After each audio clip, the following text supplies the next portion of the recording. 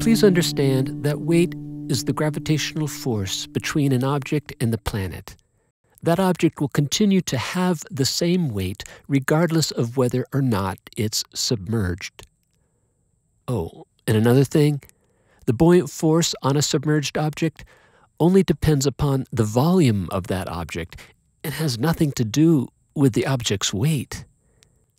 All this to say, any submerged object has two distinct forces acting upon it the downward force of weight and an upward buoyant force.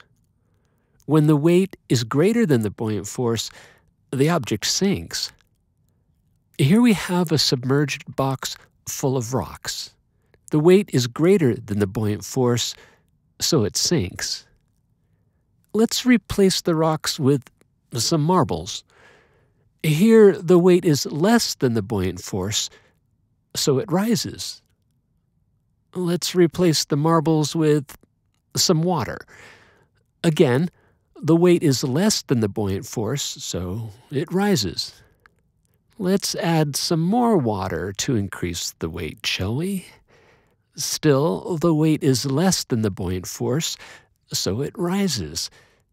Hmm, but not as quickly.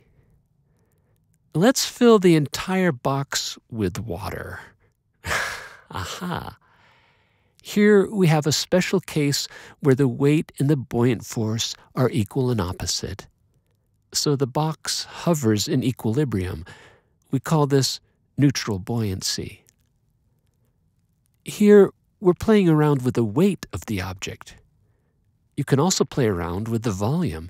Scuba divers know that exhaling their breath causes them to sink.